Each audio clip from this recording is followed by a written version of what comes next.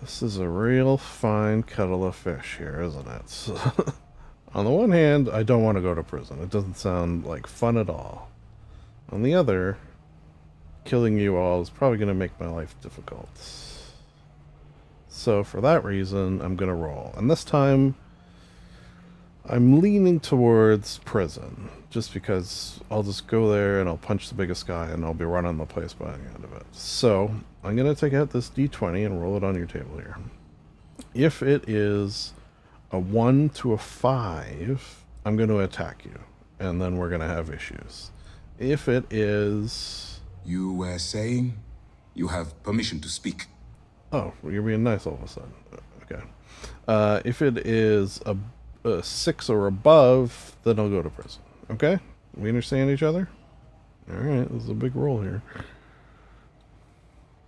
Alright, alright. A wise decision on your part. I guess so. By order of Commander Kibwe Akande, you are hereby under arrest.